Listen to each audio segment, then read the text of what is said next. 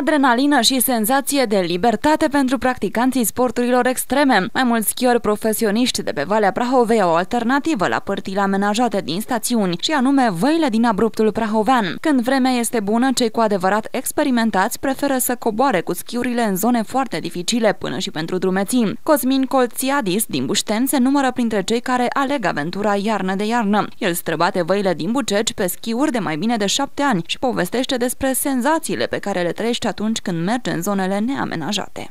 Într-un cuvânt, absolut freedom.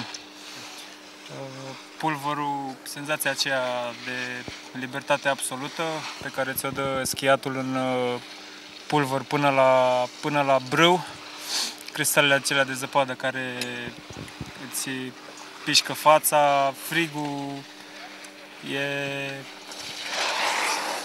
nu prea pot descrie în, în cuvinte senzația, trebuie, trebuie încercat. Schiul pe voi uh, se adresează în general uh, freeriderilor, uh, schiorilor profesioniști. Este un sport, este un sport extrem, este încadrat ca și sport extrem. Cosmin nu este singurul care practică schiul extrem. Ca el, sunt mulți alții care merg constant în zonele dificile pentru a încerca umătul. Cea mai grea vale din Buceci este cea a Coștilei, spun profesioniștii, care s-au aventurat deja pe ea. Este un alt fel de schi, este altceva decât pe pârtile amenajate, este un schi foarte periculos, destinat numai profesioniștilor care au habar de acest schi extrem.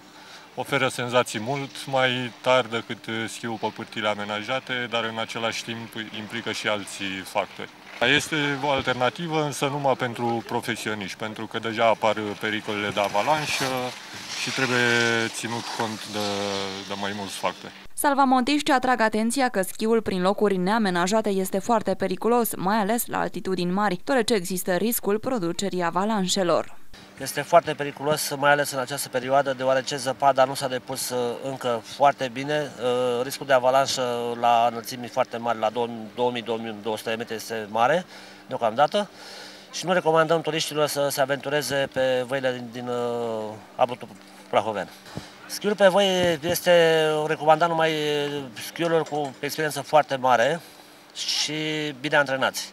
Uh, cei care nu schiază pe părțile, pe părțile din, din România nu le-aș recomanda așa ceva. Schiorii care aleg să practice sporturile de iarnă în alte zone decât cele special amenajate o fac pe propria răspundere. Riscul unei accidentări este foarte mare, așa că turiștii sunt sfătuiți de salvatorii montani să schieze numai pe pârtii.